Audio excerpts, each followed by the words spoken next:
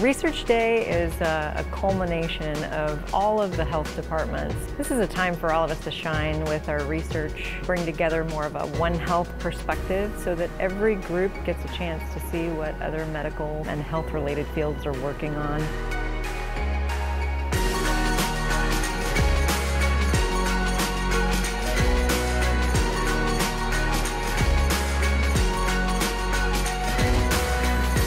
Nobody really goes in here expecting to win something. We're all there to share our research and support health.